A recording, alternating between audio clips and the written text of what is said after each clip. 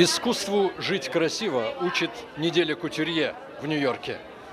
В этом году кутюрье из разных стран показывали свои работы в отеле Краун Плаза на Таймс-сквере. Одна из наиболее ярких на этом показе дизайнеров нарядной женской одежды – Патуна. Она родилась и получила образование в Грузии. Вот что сказал о ней дизайнер Андрес Акина, основатель и главный продюсер «Недели Кутюрье». Это наш 20-й сезон. Как всегда, в «Неделе Кутюрье» участвуют дизайнеры из стран бывшего Советского Союза. Например, Патуна привезла удивительно нарядную коллекцию вечерних платьев.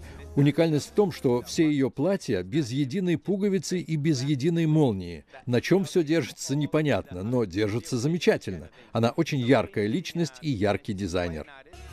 Патуна в детстве занималась балетом и народным танцем, актерским искусством, музыкой, рисованием, пантомимой.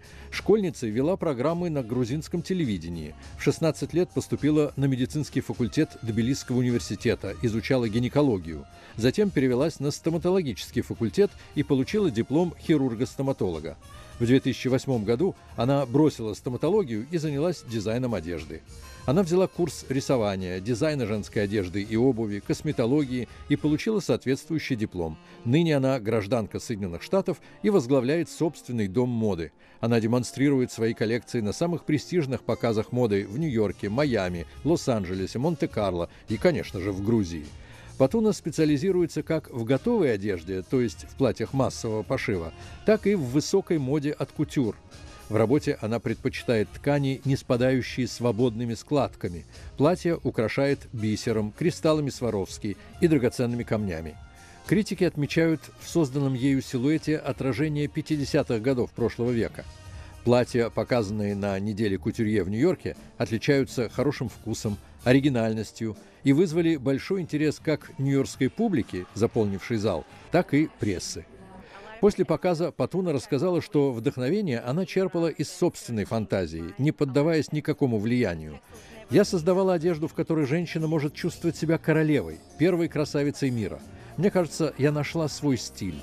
Я не использую ни молнии, ни пуговицы. Люблю шифон, шелк и добавляю хрусталики Сваровски. Платья вечерние, длинные до пола. В них надо уметь ходить. Мои девушки с задачей справились. Среди моделей были говорящие по-русски. Елена Литвак из Молдавии. Многие дизайнеры делают платье как бы впритык на приталенное, да, но это более свободное. Когда вышла на подиум, я как будто летала, мне хотелось постоянно кружиться. И она закружилась в своем шелковом платье.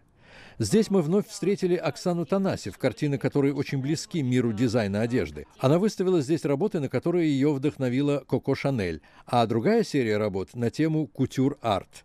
Не исключено, что на следующую серию Оксану Танасев вдохновит стиль Патуны.